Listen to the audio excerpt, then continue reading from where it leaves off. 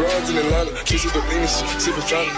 Credit cards in the scammers, wake up percentage. What's going on guys, Mortal Mods here, and in this video I'm just going to show the way to hook your Xbox to a VPN so that way you can spoof your IP and people can't boof, boot you offline, track where you live, and all that other stuff. Uh, but first thing you'll need is a VPN. Of course, I'm running Mob VPN. Uh, that's just the one that I use. You can also use CyberGhost. Uh, all you do is you go to the website. Uh, like, let's use uh, CyberGhost. All you do is just install it. It's free, and you run through the installer, and it sets it up for you. And after you do the setup, you'll come and it'll be set up just about how mine is, just with a different name.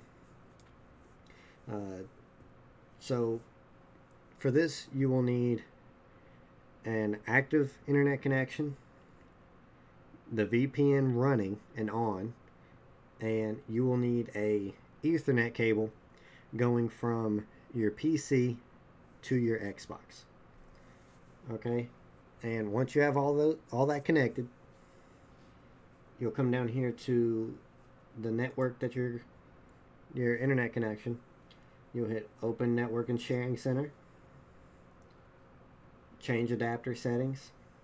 And this is uh, this is where you'll see everything that you need.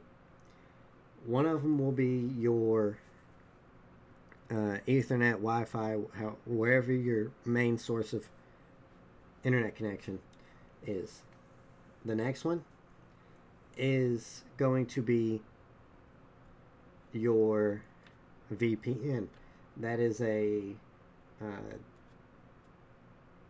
uh, like mine. The way I knew mine was my VPN because it said uh, Windows adapter.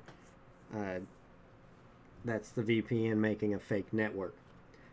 And of course, uh, my Xbox is here, which I have a USB to Ethernet adapter plugged into my PC since I only have one Ethernet port.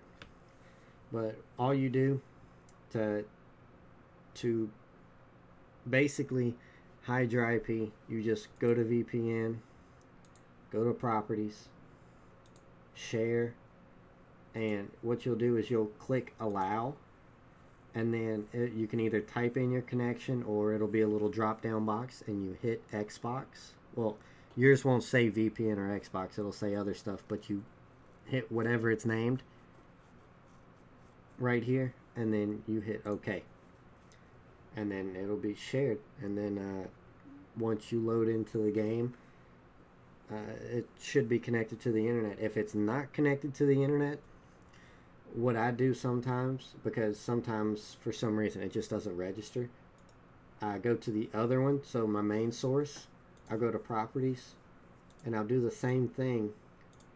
It'll say that it was switched and then you hit OK and then you just go back and do the same thing for your VPN and sometimes that fixes it if it's not recognizing that there is an internet connection.